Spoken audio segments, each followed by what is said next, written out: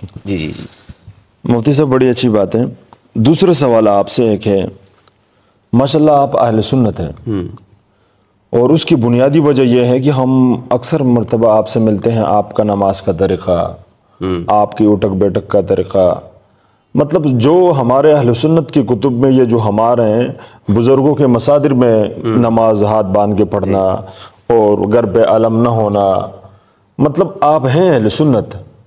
لیکن پھر بھی آپ اکثر اہل بیت خصوصاً حدیث ثقلین پر زور دیتے ہیں۔ آپ کی یہ سوچ یہ فکر یہ کیوں بنی؟ دیکھیں جب آپ نے یہ مان لیا کہ میں اہل سنت ہوں جی۔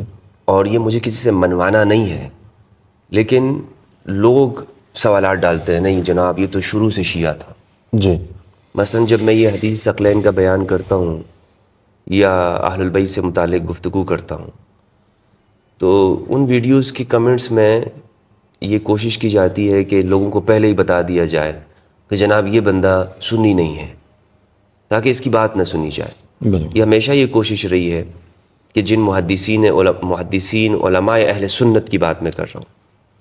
انہوں نے جب اہل البیت کی حقوق کا بیان کیا اور بڑھ چڑھ کر اس میں حصہ لیا جیسے نسائی ہیں حاکم ہیں تو لوگوں نے ان پر تشیع کا فتویٰ لگایا۔ امام شافی رحمہ اللہ کی مثال واضح ہے۔ ابو حنیفہ رحمہ اللہ کی مثال اس کے علاوہ بے شمار ہمارے کتب اہل سنت میں سے جو سیاست ہے ان کے مصنفی پر بھی فتوے لگے ہیں بقیہ۔ جی تو میں عرض یہ کر رہا ہوں کہ یہ لوگ جو اس طرح سے کرتے ہیں نا یہ کوشش شروع سے ہی کہہ دیتے ہیں۔ یہ اپنے فالوورز کو اپنے معتقدین کو جو مذہب کے نام پر انہوں نے اپنی جارہ قائم کی ہوئی ہے کہ یہ لوگ اس کے اندر فٹ بیٹھے۔ ان کے ہاتھ سے بندہ نہ نکلے انہیں ڈر یہ رہتا ہے۔ تو کیونکہ تحقیق کی بات تو یہ کرتے نہیں ہیں۔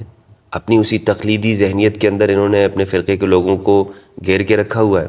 تو یہ چاہتے ہیں کہ پہلے سے ہی بتا دیں کہ بھئی یہ بات کرنے والا جو شخص ہے یہ سننی نہیں ہے۔ بالکل اس لیے آپ کو اس کی باتوں سے سننے کی ضرورت ہی نہیں ہے۔ آپ کیوں سن رہے ہیں اس کی بات کو؟ حالانکہ آپ یہ دیکھیں کہ میں نے آج تک اپنی گفتگو میں لیکچرز میں جو سوشل میڈیا پر ہے یا میں کسی کانفرنس میں گیا ہوں میں نے کوئی شیعہ کتاب کا حوالہ ہی پیش نہیں کیا۔ بالکل یہ ہم اور میں نے یہ اصول بنا کے رکھا ہے کہ میں جب بھی گفتگو کروں گا تو میں اہل سنت والجماعت کے مسادر سے صحیح مسادر سے گفتگو کروں گا۔ اس سے بڑی بات سنت کی کتابوں سے نہیں باہر نکلوں گا۔ اس سے بڑی بات تو ہو نہیں سکتی اس سے بڑی دلیل ہو نہیں سکتی اہل سنت ہونے کی کہ میں نے خود دیکھتا ہوں آپ کو جس کتاب کا آپ حوالہ دیتے ہیں وہ اہل سنت کی ہی ہوتی ہے۔ اور شیعہ کتب کے یا ان مصادر کے حوالے میں نے مشکل ہے میں نے سنا ہوا آپ سے۔ تو جی بالکل میں ان شیعہ کے یہ نہیں کہ میں شیعہ حضرات کے لیے بھی کہنا چاہتا ہوں کہ میں ان کی کتابوں کو صحیح نہیں سمجھتا۔ یہ بات نہیں ہے صحیح ہیں۔ لیکن جو میرا تعلیمی سفر ہے میرا بیک گراؤنڈ ہے جن میں ہم نے تعلیم حاصل کی ہے جن مدارس سے جن اساتذہ سے اہل سنت ہیں۔ آپ نے ہاتھ باندھ کے نماز پڑھنے کی بات کی۔ میں گھر میں بھی ہاتھ باندھ کے نماز پڑھتا ہوں۔ ماشاء اللہ حنفی طریقے پہ پڑھتا ہوں۔ ماشاء اللہ اور باہر بھی اگر کسی جگہ ہوتا ہوں تو مجھے کسی کو چھپانے کی ضرورت نہیں ہے کہ میں جناب نہیں میں اہل البیت کی بات کر رہا ہوں تو اب مجھے شیعہ طریقے پر ہی نماز پڑھنی ہوگی۔ لیکن یہاں پر کچھ لوگ یہ ہیں وہ یہ سمجھتے ہیں کہ اگر میں حدیث اقلین کا بیان کر رہا ہوں تو اب مجھے شیعہ طریقہ اپنانا چاہیے۔ یہ بھی غلط فہمی لوگوں کے دماغ میں ہے۔ جب جب آپ اہل البیت کی حقوق کا بیان کریں گے نا تو لوگ آپ سے فوراً یہی مطالبہ کریں گے آپ شیعہ کیوں نہیں ہو رہے؟ ہیں بالکل۔ یہ بھی ایک غلطی ہے۔ اور ادھر سے یہ کہا جاتا ہے کہ نہیں جناب یہ تو پہلے سے ہی شیعہ ہے۔ تو یہ فرقہ وارانہ ذہنیت ہے نا مسلمانوں کو ڈیوائڈ کیا ہوا ہے۔ بالکل سنی شیعہ کی بات تو چھوڑیں آپ۔ کہ جناب یہ ہاتھ باندھ کے نماز پڑھ رہا ہے یا یہ کس طریقے پہ ہاتھ چھوڑ کے پڑھ رہا ہے؟ مسئلہ یہ ہے کہ جو ذہنوں میں ایک بات بیٹھی ہوئی ہے کہ نہیں طیب شاہ صاحب اگر اہل بیت کی بات کریں گے تو اس کو تو شیعہ ہونا چاہیے۔ یہ یہ کیوں سنی کیوں ہیں یہ؟ اور یہ آپ کیوں آپ سنی رہ کر اہل بیت کی بات کر رہے ہیں؟ نہیں آپ شیعہ بن جائے آپ کیوں ہاتھ باندھ کے نماز پڑھ رہے ہیں؟ آپ ہاتھ کھول کے نماز پڑھنا شروع کریں۔ شیعہ طریقے پر ہونا اور اہل بیت کی طریقے پر ہونا دونوں الگ باتیں ہیں۔ اہل البیت علیہ السلام کی تعلیمات اگر ہمیں اہل سنت کی کتابوں میں نظر آتی ہے میں نے اس کو ایکسیپٹ کیا ہے۔ آپ مجھے بتائیں کہ فدق کا معاملہ یہ بڑا ہے یا ہاتھ باندھ کر نماز پڑھنا یا ہاتھ کھول کے نماز پڑھنا یہ بڑی بات ہے؟ فدق کا معاملہ بہت بڑا ہے۔ وہ سیدہ کا حق ہے نا؟ بالکل۔ اس میں اگر میں یہ کہہ سکتا ہوں کہ میں سیدہ کے ساتھ اور اہل سنت کو سیدہ کے ساتھ ہونا چاہیے اگر میں یہ جرت پڑھنے والے وہ تو اس کی اگر میں نے وہاں پر یہ بات کی ہے اور میں نے اپنے فرقے کا خوف نہیں رکھا اور اللہ کو گواہ بنایا اور وہاں پہ میں نے گفتگو کی اہل البیت علیہ السلام کے ساتھ کھڑا ہوں۔ تو میں کیا آج سے شیعوں کو خوش کرنے کے لیے ہاتھ چھوڑ کر نماز نہیں پڑھ سکتا؟ پڑھ سکتے ہیں۔ ان کو خوش کرنا ہی اگر مقصد ہے۔ اگر یہی مقصد ہے کہ جناب آپ اہل بیت کی بات کر رہے ہیں تو ہاتھ چھوڑ کر نماز پڑھیں شیعوں کی طریقے سے۔ تو یہ تو کر کیا جا سکتا ہے کوئی بڑی بات نہیں ہے۔ اس میں تو کوئی خطرہ بھی نہیں ہے لوگ کر رہے ہیں نمازیں پڑھ رہے ہیں ہاتھ چھوڑ کے نماز پڑھتے ہیں۔ تو مسئلہ جن- جناب یہ نہیں ہے میرے نزدیک۔ میرا میرا اصول یہ مجھے کہتا ہے کہ میں اہل البیت کی وہ روایات لوں گا کہ جو اہل البیت علیہ السلام سے ہماری اہل سنت کتابوں میں ہیں۔ ماشاء اللہ بھائی اگر فدق کا معاملہ بیوی کے ناراضگی کے حوالے سے ہے سیدہ کے جو حقوق کی بات ہے وہ صحیح بخاری میں ہے تو میں اس کو بیان کر رہا ہوں۔ اگر وہ بخاری میں نہ ہوتا تو میرے پاس کیا دلیل تھی بیان کرنے کی؟ آسان الفاظ میں کہ بھئی وہ یہ سارے تان و تشنی آپ پہ نہیں امام بخاری پہ ہونے چاہیے کہ لکھا اس نے ہے۔ جی۔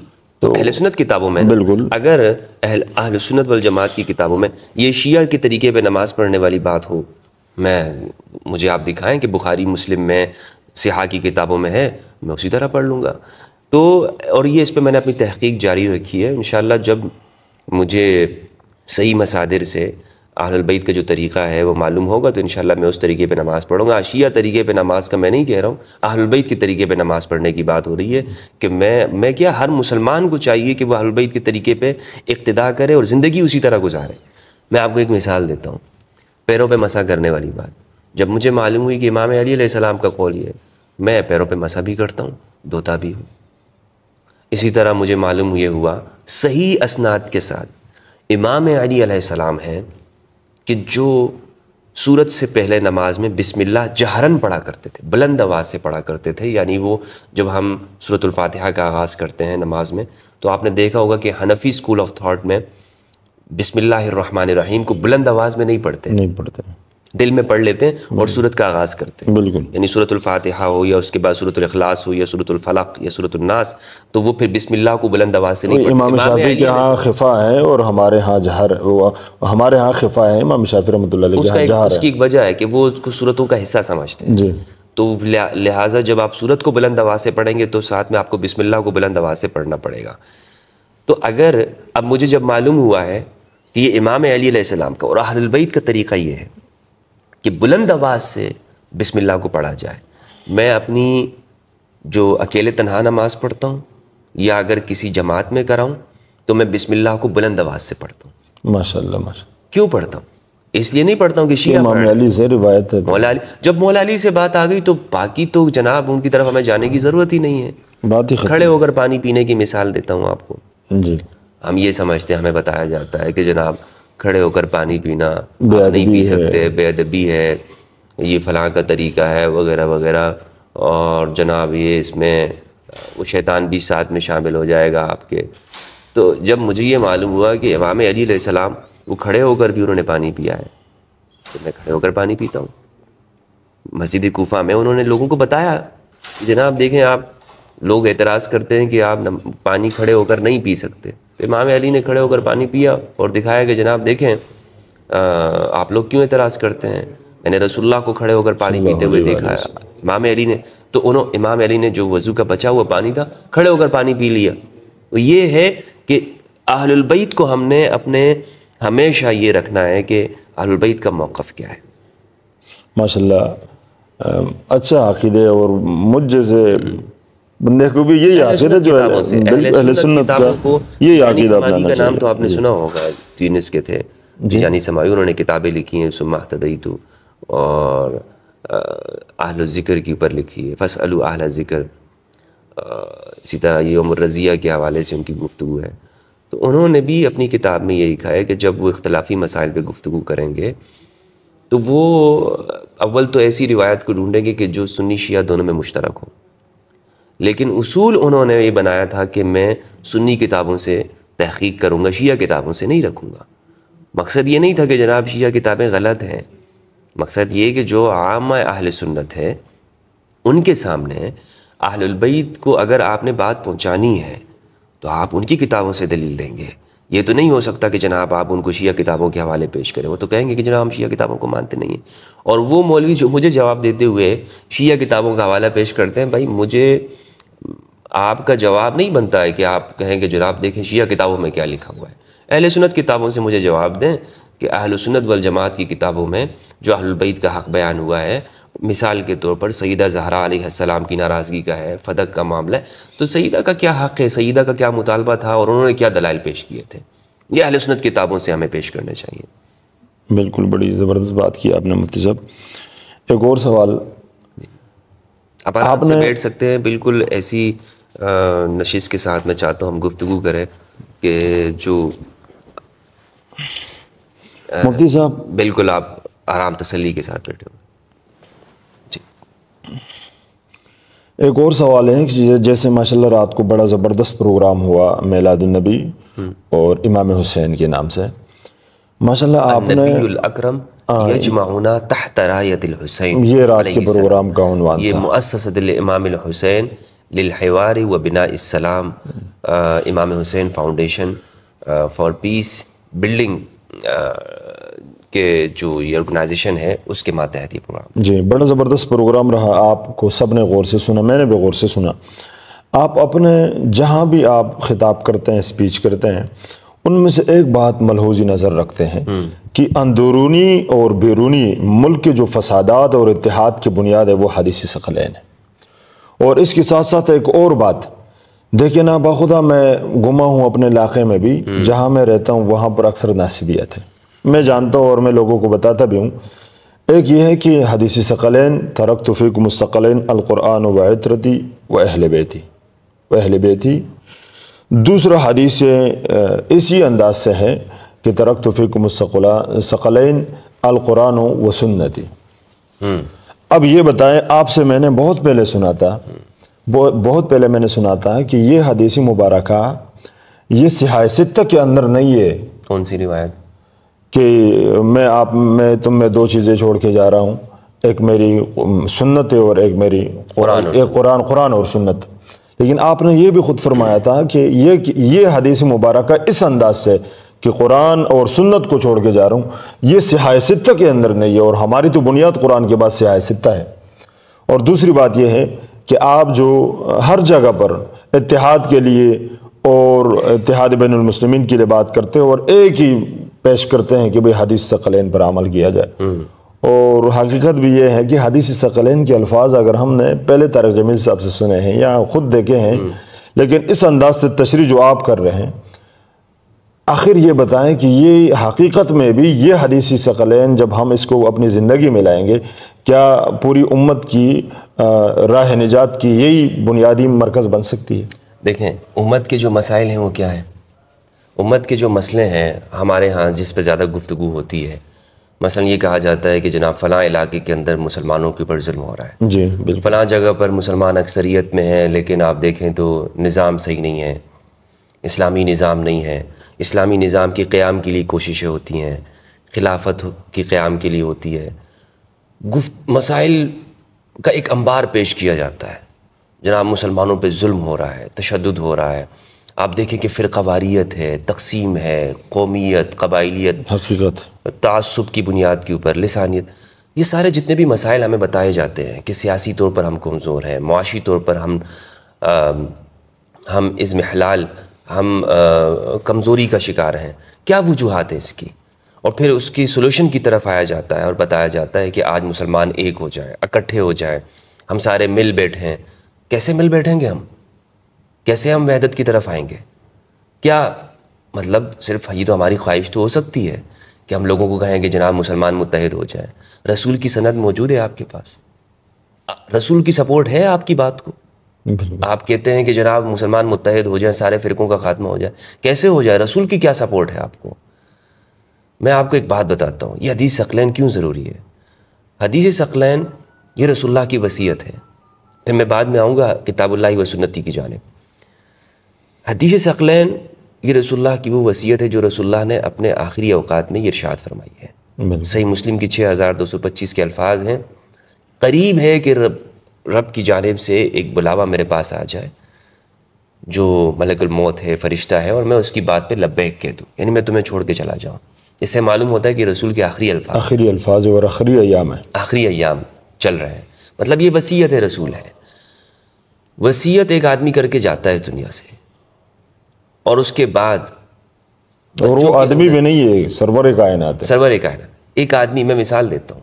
ایک آدمی اگر وصیت کرتا ہے گھر میں اور اس کا انتقال ہو جاتا ہے۔ اس کے بعد اس کے بچوں کے اندر مال کی بنیاد پہ جھگڑے ہوتے ہیں تنازع کھڑا ہوتا ہے۔ اور تقسیم نہیں ہو رہی ہوتی بھائی بہن آپس میں لڑ رہے ہوتے ہیں دوریاں ہوتی ہیں۔ سوسائٹی کا ماحول خراب ہوتا ہے یا نہیں ہوتا؟ ضرور ہو جاتا ہے۔ گھر کا ماحول خراب ہو جاتا خراب ہو جاتا ہے۔ یہی بات ہے حدیث اقلین پر عمل نہیں ہو رہا۔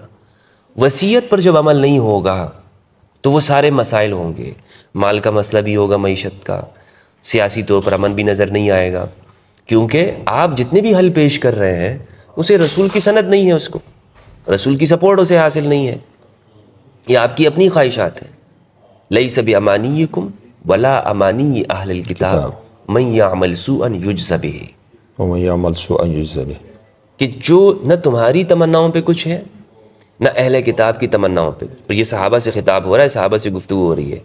کہ تم اپنی خواہشات پیش کرتے رہو۔ جناب، ہمارا تعلق حضرت ابراہیم سے، حضرت موسیٰ اور عیسیٰ علیہ السلام سے یہ تمہاری خواہشیں ہیں۔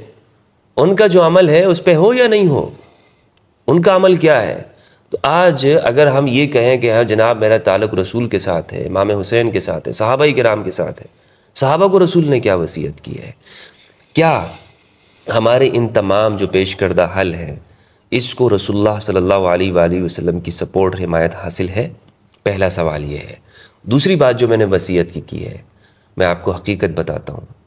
اگر ہم اپنی گفتگو میں اپنے حوار محاذرات اپنی اپنی باتوں میں لیکچرز میں مواعث کے اندر رسول اللہ کی وصیت کا خیال نہیں کریں گے تو میں سمجھتا ہوں کہ رسول ہم سے ناراض ہوں گے۔ ناراض کیا ہم نے تو صرف نام کا اسلام قبول جی کیا ہے۔ اور یہ آج تک جو مار پڑ رہی ہے نا مسلمانوں کو دنیا بھر میں جتنے بھی ہیں، یقین جانے کہ مجھے لگتا یہ ہے کہ یہ رسول کی وصیت پہ عمل نہ کرنا ہے۔ یہ ہمیں مار پڑتی رہے گی، یہ رکنے والا سلسلہ نہیں ہے، یہ چلتا رہے گا ایسے اگر ہم نے رسول کی جانب نہیں آئے۔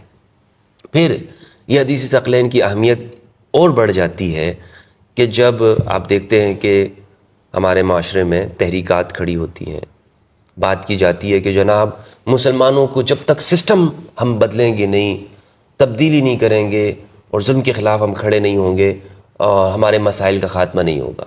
جناب، آپ جو بھی لیڈرشپ لے کے آتے ہیں، اس لیڈرشپ کی حالت کیا ہوتی ہے؟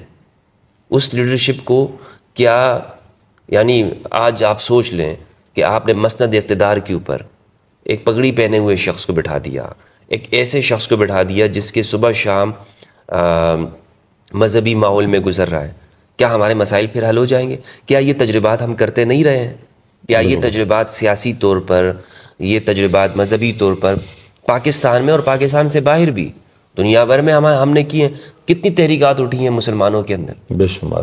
بہت وہ تشدد کا شکار ہوئی ہیں یا نہیں ہوئی سب ہو بالآخر ان کے نوجوان ایسی آرگنائزیشن کا حصہ بنے ہیں کہ جنہوں نے تشدد کی تحریکات میں حصہ لیا اور انہوں نے اپنی زندگی کو برباد کر دیا۔